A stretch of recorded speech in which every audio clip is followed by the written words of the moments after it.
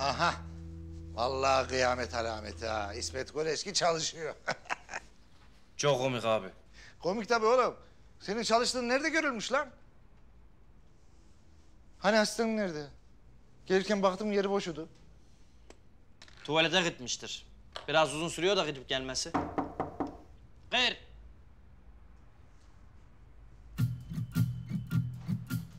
Buyur teyze kime baktın?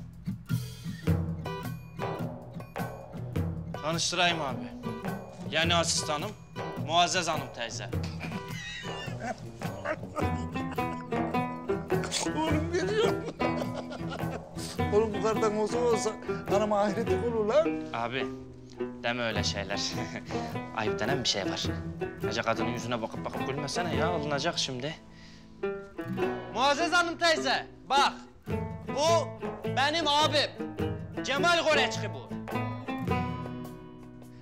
Merhaba Muazzez Hanım. Hayırlı uğurlu olsun. Nasılsın, iyi misin? Bu öyle anlamaz ki böyle bağırman lazım. Muazzez Hanım nasılsın, iyi misin? Maşallah bu yaşta çalıştığına göre iyisin ya. İyiyim, iyiyim. İşleyen demir ışıldarmış. He doğru. Gerçi senin gözünün ışığı bile kalmamış ya neyse. Efendim? Abicim demesene şöyle şeyler ya. Vallahi ayıp olacak ya. Neyse tamam. Muazzez Hanım bize iki tane kahve getirir misin? Sana zahmet. Anlamadım.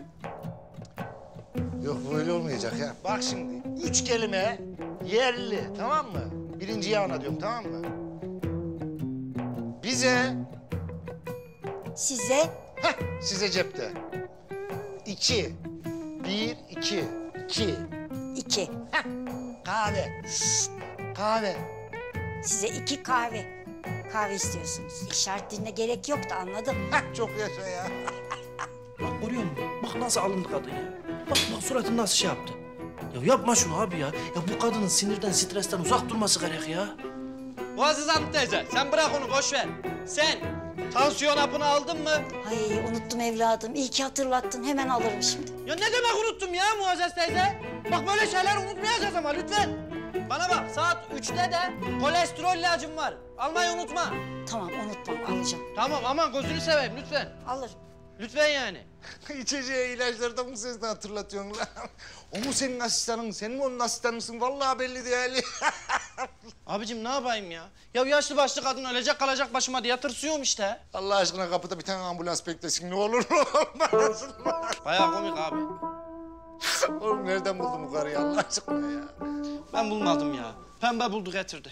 Ya İsmet'im sen niye böyle yapıyorsun ya? Karını niye karıştırıyorsun bu işe? Bak düştüğün hallere bak. Of. Gülme rica ediyorum.